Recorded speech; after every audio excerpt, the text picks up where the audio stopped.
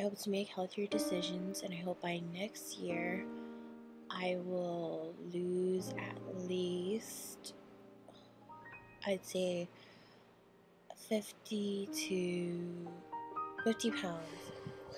This is officially the first workout I did of my transformation. It is only the second day, but I had to say I almost give up. I felt like I just wanted to just give up. Like I would, I, I, at one point I was like, I'd rather be fat. I don't care. But it wasn't about. Um, over the summer, it's just a, not only a transformation physically, but also internally. I'm happy. I'm I'm the happiest person I have ever been in such a very long time, and I did it all on my own. And I don't know why I'm getting very sentimental. I guess because if you're such a very heavy person, your whole entire life, and just seeing the numbers increase, um, time and time, um, you you actually get very depressed, and you feel like there's no hope. Um, and you just at once in your life want to feel pretty and want to feel good about yourself. That's how I feel. I feel very happy. I feel very accomplished. I feel very successful. In the long run, it's a lot of hard work, but I am very happy where, with what I am today and what I'm going to be in the future.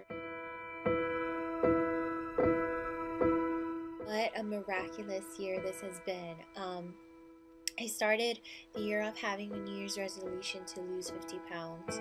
I've never ever felt this way.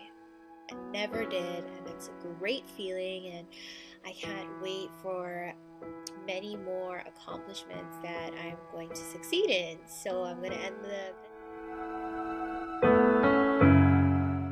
Mm-mm. Mm-mm. I haven't been doing so well. I think I might have gained a couple pounds. Sadly, I'm I mean, at least I reached my goal at 50, right? I just want to maintain that.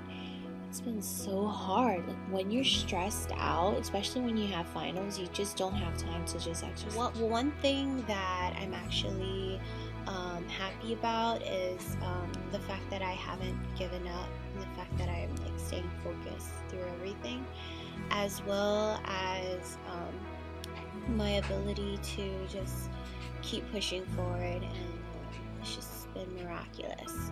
And my